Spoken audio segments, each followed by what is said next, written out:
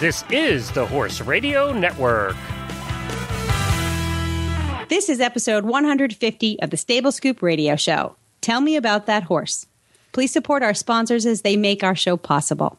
And our, our one of our sponsors today is Equestrian Collections. You can visit them at equestriancollections.com. Plus Uncle Jimmy's, and you can find them at uncle-jimmy's.com.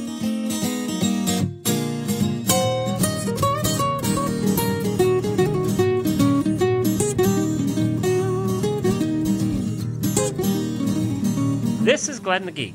And this is Helena B. And you're listening to the Stable Scoop Radio Show on the Horse Radio Network. Well, howdy, Helena.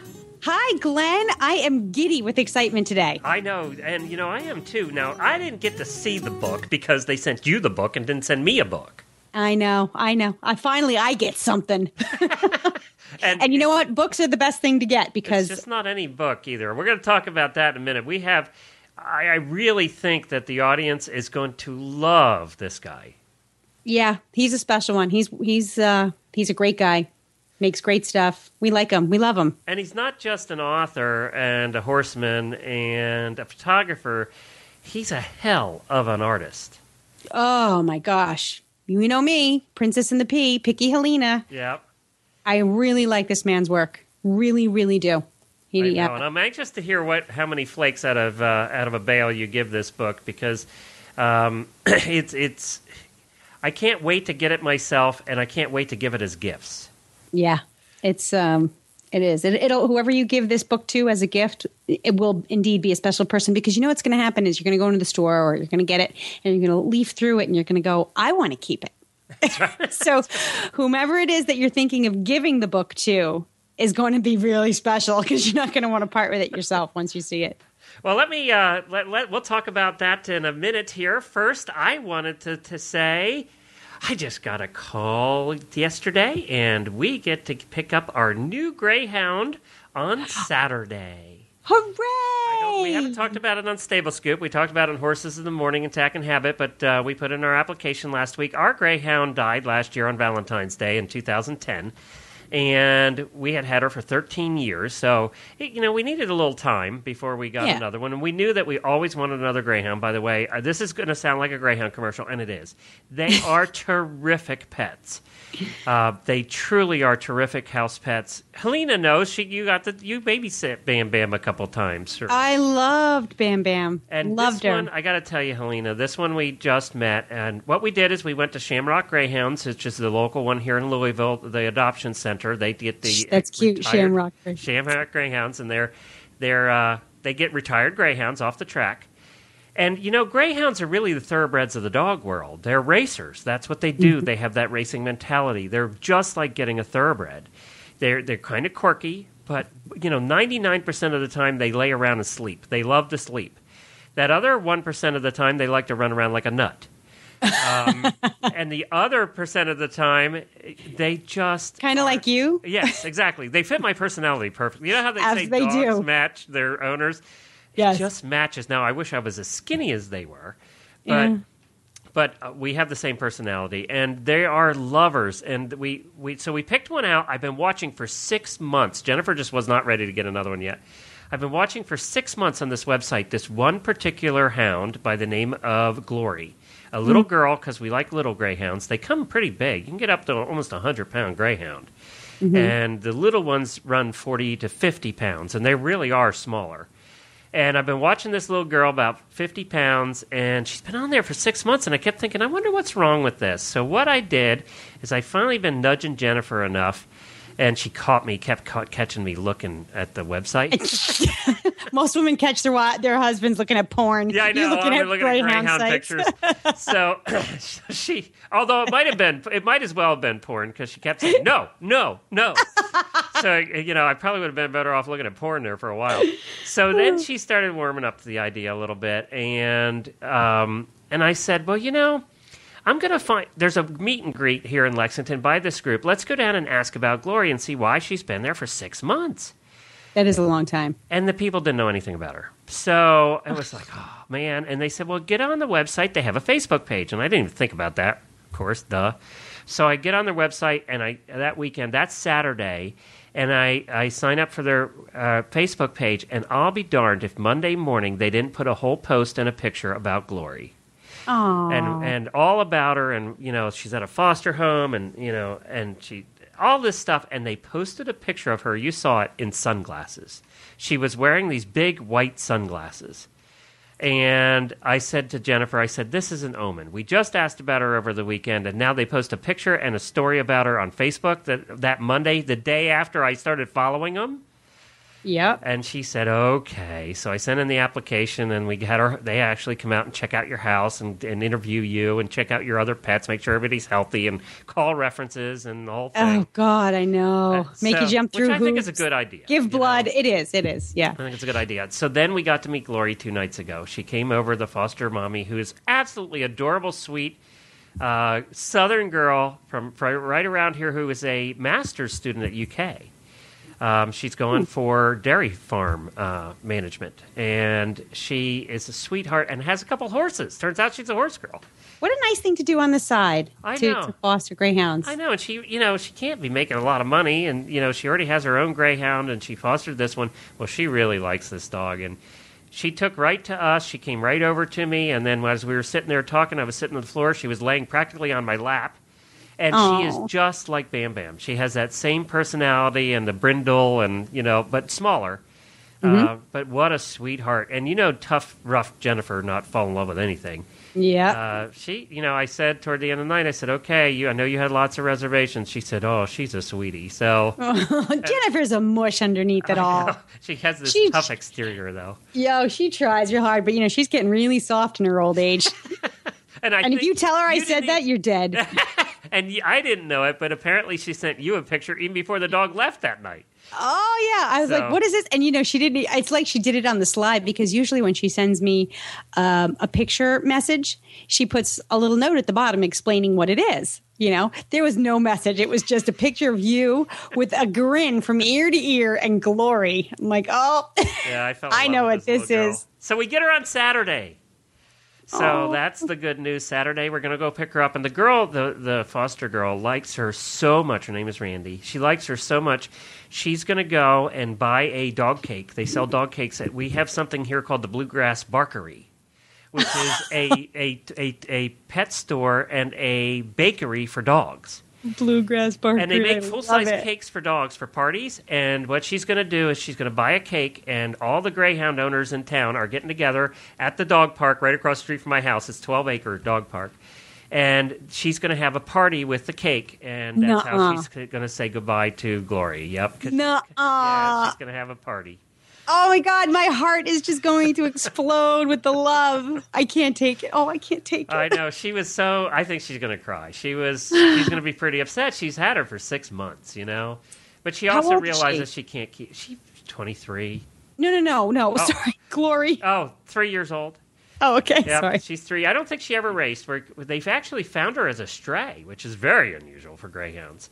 Wow. Um, and she doesn't have the tattoos of a dog that raced, so they think that she might have gotten away from a breeder or something like that. Um, but she has the personality of a of a racer, though, and, and they said she can fly. So I can't wait to see her run. It's oh, gonna be fun. that's. I love her name too, Glory. Did you name her Glory, or was no, she? That was her name. apparently came with Glory, and uh, the and Randy said I was going to change her name, but she already answered to Glory, and so I guess we won't be changing it either because uh, Okay. because she answers to it. She does answer to it. She came right over to me, Mm. um, and she goes. She's just like Bam Bam. She goes from person to person to be petted all night long. Just stands there to be that. petted. You know how Bam Bam was. Great big mush pot. Yep, she definitely is. So we uh, we're very excited to get a get a greyhound again. Oh, I'm excited for you. I'm sure I'll be getting lots more pictures soon. Yes, you will. Uh, they'll be posting pictures all over Facebook. all right, let's take a break and talk about. Uh, let's talk about Uncle Jimmy's, and then we're going to get to our guest. Tell everybody who our guest is. Our guest today is a lovely man named Vaughn Wilson, who is first and foremost a horseman. Um, I guess, well, in my opinion, and in a very close second, he is an artist, and he's an artist artist. He uh, is a photographer and a painter, um, and and he's been around horses all his life. He uh, he and his wife have Hawk Crest Farm, and uh, they're currently breeding Appaloosas, who uh, some very significant Appaloosas who've uh, been some champion reining reining horses. Um, and he compiled this book of some of his favorite horse people. And in the book are photographs, very special photographs of each person who's highlighted, and a complimentary painting. And you know, I never asked him what medium he uses that looks like it's oil. You know, oil on canvas. Yeah, I, I don't, I don't know either. it was stupid me, but um, but his paintings so deeply capture the his subjects And as horse they- people and animal lovers. You know how some people when they do paintings and they look like they look like pictures when they're done. They, you can't tell whether it's a photo or a painting. Right. His look like paintings, like brushstroke paintings, and I like that. We're going to have on with us in just a few minutes Vaughn Wilson, and he is uh, he compiled, illustrated, and photographed. Tell me about that horse. Stories from exceptional people about treasured horses. And speaking of hip, there is nobody more hip than Uncle Jimmy. Uncle Jimmy is about as hip as it gets. You know, he was an airline pilot for so many years. He's a horse person. He's a horseman first, I think, and then he decided to fly people around and make some money. And he retired from that, and uh, he, st- you know, he, his horse needed some treats. He figured out the best way to make treats, and the, you know, in a quality way. And he invented Uncle Jimmy's hanging balls. And then from there came his entire line of products. Uncle Jimmy's has to be one of the most popular treats in any tack shop or feed store across America. You've seen them. If you have not tried them, you should. Next time you walk into your feed store, you grab a Uncle Jimmy's hanging ball, you hang it in your horse's stall, and you're going to see how much they love these treats. Uncle Jimmy's is quality. That's one of the biggest things. It's quality, and they use the finest ingredients, and they're fun.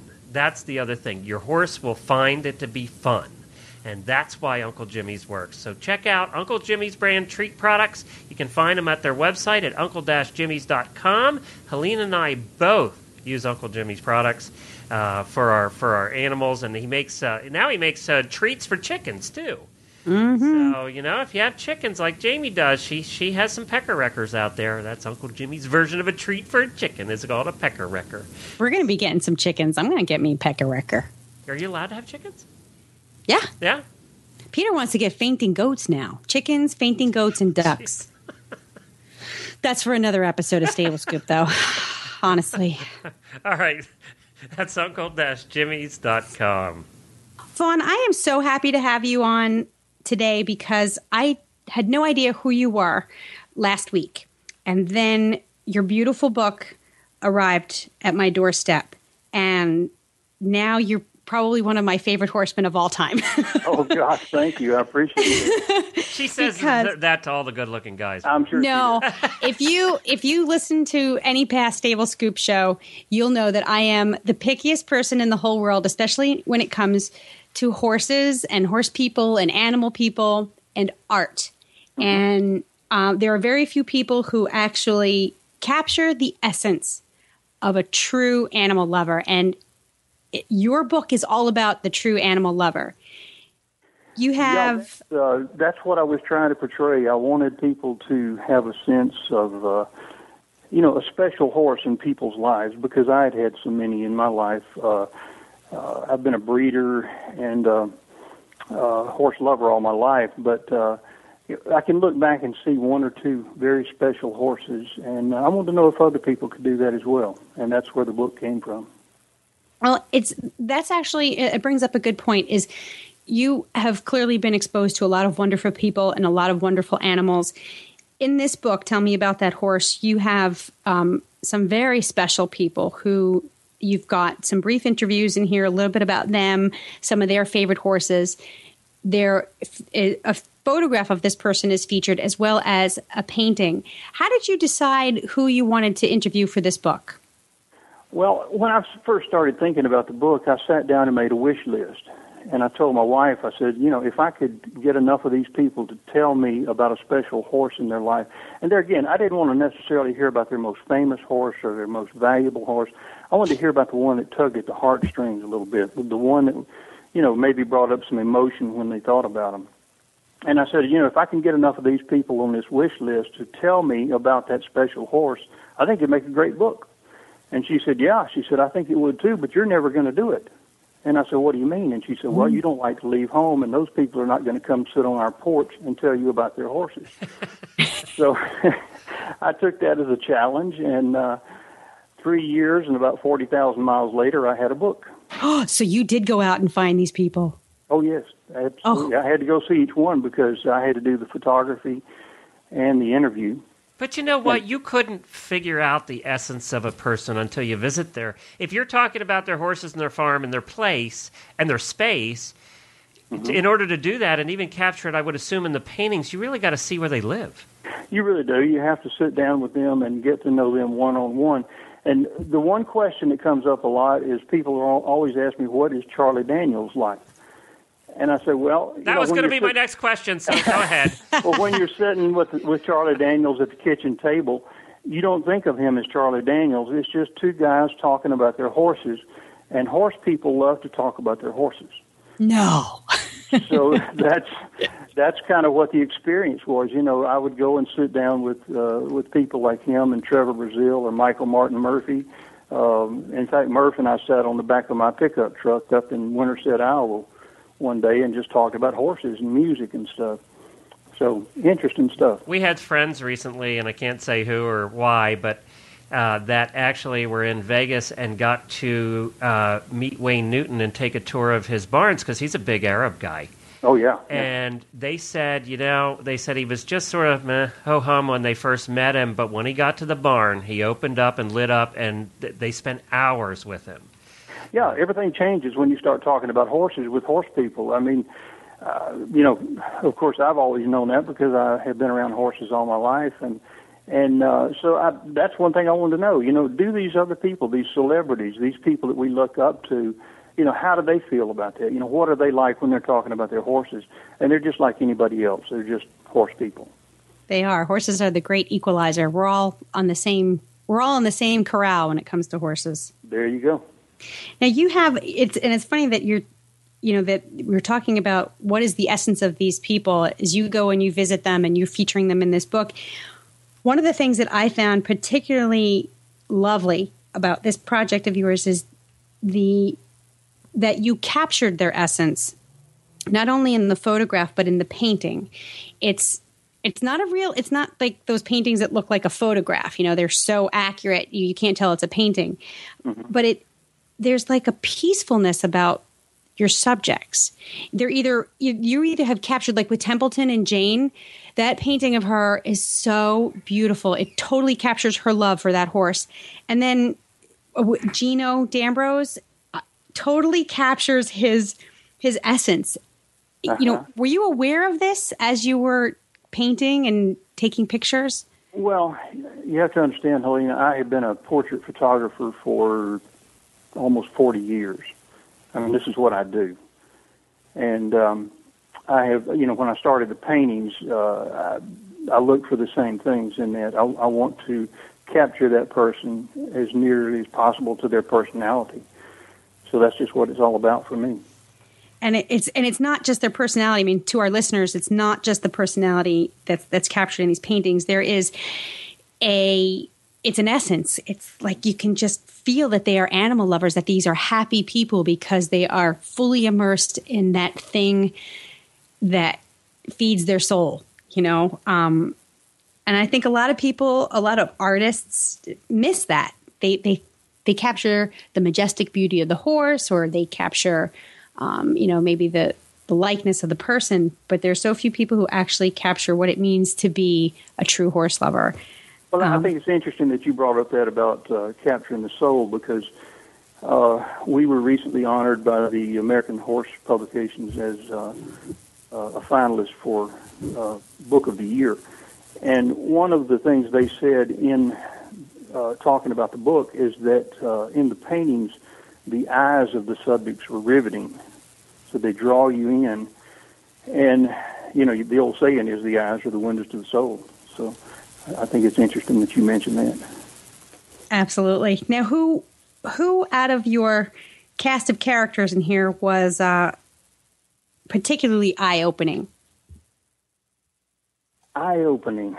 Um, you know, one of my favorite stories, and it's not because uh, he is necessarily one of the most famous people in there, because I, I don't think a lot of people will know Sam Powell.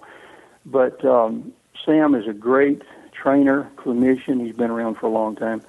And uh, his story about how he, at the age of 17, thought he was really something because he had won a couple of belt buckles in a, a local rodeo. And then he went out and went to work for an old man uh, on, a, on a farm out close to his place, and uh, he learned a very valuable life lesson from that old man. Uh, here, you know, Sam was strutting around like he was really something, and uh, the, the things he learned from that man were incredible. It's funny because right as you said, Sam Powell. I was just flipping through the book. That's exactly the page that that I landed on. Yeah. And uh, and was, the who was the Go one ahead. that surprised you the most? Uh, the one that surprised me the most. Oh gosh, that's uh, that's tough. Uh, I, one of one of my all-time favorite stories, I guess, and and was uh, Pam uh, Pam Grace, Pam Fowler Grace, uh, and her story about uh, her horse Pay and Go. Uh, she had this Appaloosa, leopard Appaloosa uh, dressage horse. She is a dressage trainer, and um, the story about her being called uh, to uh, let Paul McCartney fly her and the horse to New York City to take part in uh, Linda McCartney's memorial service. You know, that was, uh, I, I wouldn't say a surprising story because I actually already knew the story, but to hear her tell it was incredible. I've got it on tape. and if you could ever hear the tape, you would understand it's extremely emotional. And it just tells you, you know, how she feels about that horse and what she was able to do with that horse. Mm, that's I, I'm already starting to feel. You know, you feel an affection toward these people uh, in your book, Oh, absolutely. and and you know, and we only have a fraction of the story. Like you sat down with them, you spent time with them, and you basically summarized what you experienced into the, the couple of pages for each person in this book. But um, what a great way to spend three years. I mean, do you look back on that that time and say, "Wow, I feel really great about this"? Can I tell you a short story about that? Yeah, yeah. Uh, you know, people ask me, was it worth it? You know, I spent a lot of time, and of course, I had a business to run. I am, like I say, I am a portrait photographer and painter, and uh, so I would have to come back and make a living for a while, and then go back on the road. Um, and some people say, well, you know, was it worth it? Was it worth all that time and all that effort? And of course, I met some wonderful people. I met uh, people I never thought I'd have a chance to sit down with and become friends with. Uh, it was just an incredible journey. But uh, one day here at the studio, just a couple of months ago, a big old cowboy came walking in the door, and uh, I mean, it's a big guy, big guy, and uh, he walked in and he said, "I need to talk to you." and I said, "Uh oh." Around for a back door if I need one. and uh, he said, "I just wanted to tell you." He said, "I don't read books. I don't read books." He said, "Anybody who knows me." Knows that the worst thing you can buy me as a gift is a book because I don't read books. He said, A couple of weeks ago, my wife walked in and she had your book and she handed it to me. And I said, What's this? She said, I thought you might enjoy just looking through it. He said, Well, I laid it on a table and it laid there for about two weeks. And uh, he said, Last night I was walking through that room and I saw the book laying there and I decided to pick it up and just thumb through it and see what it was about. He said, and you're the reason I didn't get much sleep last night. he said, because I could not put that book down. I couldn't go to bed until I read every word of it. And so, yeah, when you ask me, was it worth it? Yeah, that tells you it was worth it.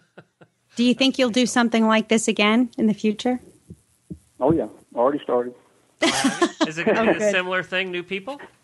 Uh, yeah, probably. Um, I recently uh, had the honor of uh, interviewing uh, Howard Council out in uh, uh, Lawton, Oklahoma. He's uh, considered the best maker of uh, roping saddles in the country. I mean, he's made four for George Strait, four or five, I forget. And uh, most all the big ropers, uh, Roy Cooper, Trevor Brazile, uh, Joe Beaver, all those guys ride his saddles. And so, yeah, I've started the uh, interview process for the next volume. Well, tell tell me a little bit. Well, well we're going to have to take a commercial break here, but when we come back, I want you to talk a little bit about Dusty Rogers. Okay. Um, because you know a lot of people won't re- won't know who that is, but Mm-hmm. yet uh, you know that had to be kind of fascinating too because of who who that person is. So that was let- very special. I yeah. bet. So let's let's uh, if you're in the, if you're a cowboy at all, that one had to be special. So let's let's uh, come back right after the commercial and talk about Dusty Rogers. Okay. One of the reasons I am so proud to have Equestrian Collections as a sponsor on the Horse Radio Network is they are one of the most innovative companies in the equine retail world. Their website is so easy to get around and offers so much for the shopper. One of those things it offers is numerous online catalogs. Flip through the pages just like a real catalog. Find something you like, click on it, and buy it immediately. And flip away, find stuff you like, and buy it right there off the catalog. It's so cool. That's something you can't do when you're sitting on your couch with a catalog. So you can check out all the different catalogs available at equestriancollections.com. And you know, we always say it, but it's true. Equestrian Collections does provide the universe of equestrian shopping at your fingertips at a price you can afford. You're listening to the Stable Scoop Radio Show. We're here with uh, Vaughn Wilson as our guest, and his book is Tell Me About That Horse. Stories from exceptional people about treasured horses. And one of those exceptional people I want you to tell us about is Dusty Rogers. First of all, for those that don't know, tell us who Dusty is. Dusty Rogers, uh, his that's a nickname. His real name is Roy Rogers Jr. That's the name that everybody might know. That's the one, and uh, you have to understand. I'm of the age that uh, I was a huge, huge Roy Rogers fan growing up. I still am. I still watch his movies, and uh, to get the opportunity to sit down with uh, with Roy Rogers Jr. and talk about Trigger, I mean that's a dream come true for an old uh, cowboy wannabe like me. And uh, I, I spent some really quality time with Dusty and, and heard great stories about his dad and about the horse. And and his mom, too, for that matter. You know? yeah, yeah, it was it was just a a wonderful experience for me, and and to get to be friends with him and be able to call him a friend, that's very special. Now, does he he still rides? I assume. Does Uh, Dusty ride at all? Yeah, I'm, I'm sure he does. He uh, he doesn't do a lot of it because he, he travels so much. He's uh, you know he he's an entertainer and uh, an incredible entertainer. He uh, has his own band and uh, sings a lot of his dad's old songs. And and back when I interviewed him, it was in Branson at the uh, Roy Rogers Museum. Of course, they've closed that down since then. But they had They the sold theater there. Trigger, for God's sake. They sold Trigger. They I really- know. Yeah. They sold Trigger. They sold uh, Trigger Junior. They sold. But I uh, think HRTV, or not HRTV, RFD bought RFD. Trigger, didn't they? they did. Yeah, They did. that's what I thought. Yeah. So you know There's- somebody was going to buy him that was going to take care of him anyway. Yeah, well, I think they take him on tour, you know, so other people can see him. How about there's one guy too that uh, somebody people may not have heard of unless they're really into they have to be really into cowboy music and country music. But I've heard some of his music, and we're hoping to get him on the show here uh, one day soon. And that's Michael Martin Murphey. Yeah, well, he's on the cover of the book, as you well know, and Yep. Uh, that was an interesting story because uh, I had been a fan of his for years, and my wife uh, always loved him. She that was one of her favorite singers when she was in college, and back when he was doing pop songs. And uh, funny story about him uh, when we were talking about Roy Rogers. Uh, when when Michael decided to go strictly co- uh, cowboy music, he called Roy Rogers and went out for a visit in California. And uh, he said, "Roy, do you have any advice for me?" And uh, he said, Roy thought a minute, and he said, uh, Michael, I do. I've got two pieces of, inter- of advice for you. He said, number one, never say or do anything that's going to lead a child or kid down the wrong road. Number two, get yourself a good-looking horse because you're going to get old and ugly.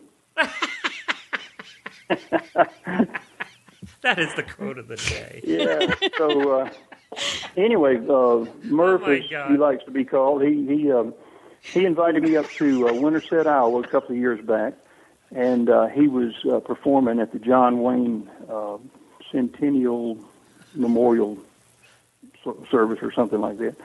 It was a big three-day festival that they were having, and uh, so I went up and spent three days up there with him, and um, that, in fact, that's where I met Sam Powell for the first time. and and it was just a great experience, and uh, you know, getting to hang around with him. And um, when we got ready to uh, do the cover for the book, I had this image of him with uh, him and his horse looking at each other, and I said, you know, that says everything that I want to say in this book. It's the bond between that man and that horse. Hmm. And so that's why that we use that for the cover. Well, you know, It's very uh, now you're very artistic. So, did you get up on stage there and sing along, or I did not. Uh, I would have if he if he had asked me, I guess, because I never turn down an audience. I love to get on stage. I've been doing that a long time. Do you have a favorite photograph from the from the book? One that really just you, you keep coming back to and saying, "Yep, that's definitely my favorite." Um, that's like asking if you have a favorite kid? Well, because I have one, and I, I, because I have one, and I just want to talk about my favorite one. well, I was being diplomatic to ask him if he had one. mine would probably be different from yours because of uh, because of who it was, and and it's not the photograph, but the painting that I did of Orren Mixer. Uh, I've been a, a huge fan of Orren Mixer's for 30 or 35 years. He is uh, probably the all-time greatest equine painter of all time. He painted uh, the official horse for seven different breed registries, and um, you know, just the chance to get to sit down and, and get to know that man a little bit. And uh, um, he was 87 at the time, uh, and little did we know that uh, he would die about three years. I'm, I'm sorry, three months later. But uh, after I did the painting, I sent his wife uh, a giclée print of the painting, and she called me and she said, um, "I just want to thank you, uh, of course, for the portrait." But she said, I wanted to thank you for including Orren's hands in the portrait. Oh, And I said, well, you know, that was his talent. His hand, that talent came through his hands. I said, you know, that would have to be part of any portrait of Orren Mixer. She said, absolutely. But she said, most people don't do that. Most people don't realize that. And she said, I just want to thank you for doing it. So that to me is kind of special. And, um, you know, I know it's not the photograph, but it's, uh, it's still special. no, it's the page. Well, that's what I'm having a hard time with. Is some in some of the the pages, the photographs really um, speak to me, and in some the the paintings do. And when I had said earlier that your your artwork had created the essence of someone's happiness, like if there's not an animal in the picture, there's it's the essence of that contentment and that happiness. And uh, Orren Mixer definitely has his painting has that essence of someone who has spent their life doing something that they really love to do. Right, right. So Um, I favorite photograph? I happen to really like the picture of Bob Tallman kissing his humongo cat. you know, I haven't, I haven't heard uh, what Bob thinks about that photograph. I have talked to him since then, and he didn't bring it up, so I didn't. I offended. what made you? I mean, this is a book about horses, but this is so a picture of a man who loves a cat and a cat who is so worthy of that kind of love. What made you pick this picture? well, we were just, we were just playing around. You know, we were going down to look at some of his bucking bulls, and for those of, of your listeners who are not familiar with Bob Tallman, he's he's one of the greatest rodeo announcers of all time. The guy just has a phenomenal voice, and uh, if he- you've ever heard uh, a, if you've ever heard bits and pieces of rodeo announcing uh, in in a video or in something like that, you've heard Bob Tallman. He Probably. is the classic. He makes every guy like me in the radio industry jealous and Yes. just basically mad at him. Um, Yeah.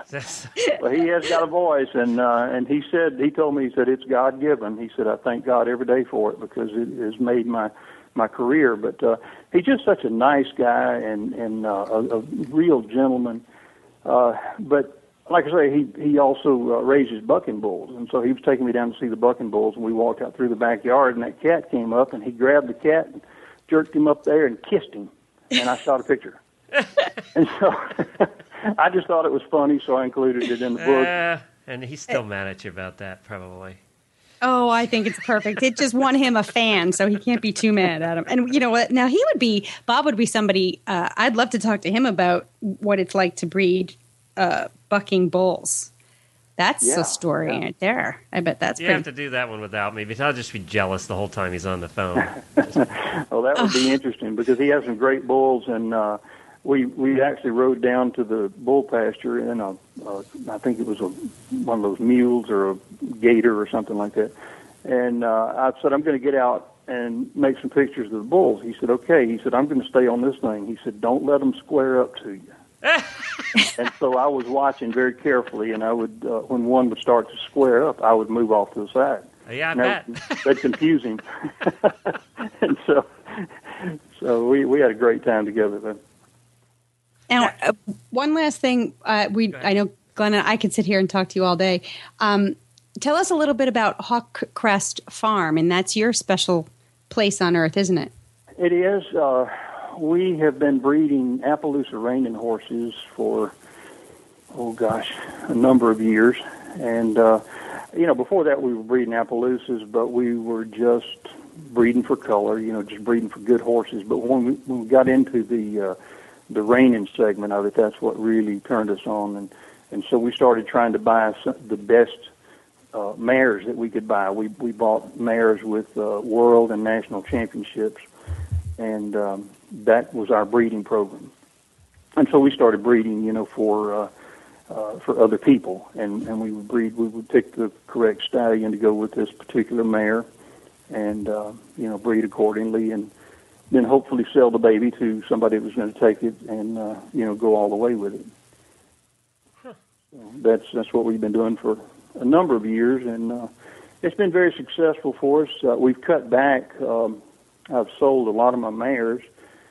Uh, at one time, it was considered uh, by other people, not by me, but uh, uh, that we had the best group of Appaloosa reining mares in the world, and um, I thought that was pretty impressive. But uh, like I said, we've started selling mares. It, uh, it it got so time consuming and it ties you down so much, especially when I'm trying to do these sorts of things and I'm traveling with the book and and all that, and it leaves a big burden on my on my wife who has to stay here and take care of all of that. So, Where where just- where is the farm? Where is it at? Petal, Mississippi. Okay. Yeah, I Um, didn't I didn't hear any southern accent, so I was confused. Oh, it's there. I'm just kidding. I've been in Petal all my life, and uh, it's a great little place to live. It's right outside Hattiesburg. Uh, y'all might be familiar with Hattiesburg uh, because Brett Favre uh, lives in Hattiesburg, Yep. and uh, Oh yeah, football, huh? yeah, just across the river from them. And and uh, uh, I've been here forever. You're down there in hurricane country. Yes, we are. Yeah. Let's knock on some wood that we don't see any don't down see there. any this year. Oh, oh, Katrina was devastating here. Uh, y'all probably didn't hear about us, but uh, No, I the- actually do think that's one of the reasons I knew of Hattiesburg was Yeah, yeah, it was uh, it was terrible. Uh, I've I've lived here all my life, and I've been through a lot of hurricanes, but never anything like that. I mean, even Camille back in '69 was nothing compared to Katrina. Huh. It was just, uh, just devastating. It, it tore this place up. Well, where can people find your book? Well, I'm glad you asked. it is available on Amazon.com, and it's also available at uh, TellMeAboutThatHorse.com. And uh, of course, if you get it through TellMeAboutThatHorse.com, you can get uh, a personal autograph. I see that. I, Mm. and, And I have a lovely autographed copy. I am so protective of this book already. My daughter's like, "Oh, mom, can I can I no. this book?" I said, "Put the Sharpie down first. I know, so you can find this on your website at uh, tell me about uh, about thathorse.com. Uh, the price is forty four ninety five because this is a this is really a coffee table book. It is Um, a coffee table book, but it's it's a coffee table book that you're going to want to read because Right. of the stories. I mean, It really is a nice. It's worth every penny. This is a great gift, by the way. If you've got a birthday coming up, um, you got an anniversary coming. Guys out there that listen to our show, and I know there's a few of you. If you have an anniversary coming up, and your your lady's a horse girl, this is this is a. Would you say this is a horse girl approved for an anniversary gift, there, Helena? This is Horse Girl approved. This is Horse Husband approved. This is uh, art enthusiast approved. Yeah, this hits all those bases. Good. All right. So if this would get if this five flakes. Wow! Wow! See, we we we do a we rate by flakes, and there's five flakes in a bale. So uh-huh. I think you're the first one ever to get five flakes. To be honest, I've never given a five flakes. Yep. Wow, thank you very much. That's that's incredible. You know, I think it's like you say, it's great for people who love horses, but I think it's also good for people who just like a good story because there are some stories in here that that uh, were just incredible for me to hear and, and to be able to sit with these people and, and listen to them. And I got to tell you, I saw more than a few tears with people talking about that special horse. It's uh, uh, it, it's something that just brings up a lot of emotion. And uh, uh, you know, the forward was written by Nolan Ryan, the baseball legend, and Nolan said in there, he said, "The stories are going to make you laugh, they're going to make you cry, but they will entertain you." Well, that's great. Uh, this is terrific. You know, we did a, a couple weeks ago. We had the opportunity to be the first ones ever to record a live show from Elvis's barn at Graceland. I heard about that. Yeah, yeah. And I'll tell you what, what a special moment. So you had you had thirty of those special moments, you know, um, and you actually got to talk to the people in person. You know, we didn't get to talk to Elvis, um, Yeah, no. but but it was you know one of those special moments, and and uh, how cool for you to be able to do this too. You probably got more out of it than anybody. Well, I did. Uh, you know, like I say, there were just people that I never thought I'd get a chance to meet, like Larry Mahan. Uh, you know, what a legend. Uh, Trevor Brazile, the only man that's ever won eight all-around championships. Ro- you know, Roy Cooper, all these great radio, uh, rodeo performers, and uh, just to be able to sit down with them and and um, and actually become friends with them. Uh, you know, and and uh, uh, some of these people I would spend uh, you know ten or twelve hours with in one day just because we were having so much fun. and they, in turn, would tell me how to get in touch with their friends that they thought uh, might be interested in doing it. They said, "Hey, this is fun. I think so and so would like to do this."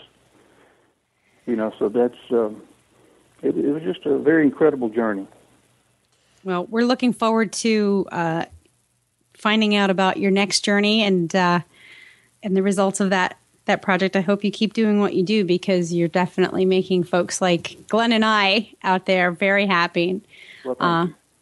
So, so thank you. And that's Vaughn Wilson, and the book is Tell Me About That Horse. And we, of course, will put more information at stablescoop.com about where you can purchase this book. Vaughn, thank you so much for taking time out of your day uh, to spend it with Glenn and I and the Stable Scoop listeners. We appreciate it. Helene, I really appreciate you and Glenn and the opportunity to talk to your listeners. Okay, so we have another new favorite guest. Every week we have a new favorite know, guest. every week we have Vaughn new one. Wilson, and he does have though. that I nice, like nice voice. You should be jealous about. I do. I am. I'm know. jealous with anybody with a nice voice. Mine stinks. I'm a radio No, guy. you and have a terrible nice voice. You have a nice voice. Well, you know how nobody Okay? likes their own voice. Yeah, I do. I hate mine. I know, I and you have a great radio voice. I've told you that since day one, and you don't Well, me. My dad said I had a face for radio, but never talked to You me and about my. Jamie have great radio voices. When you two do shows together, it's terrific. It's like two radio people talking. All right, so we'll do it together next week. Yeah. so, so Vaughn Wilson, again, a big thanks to you for coming on and joining us.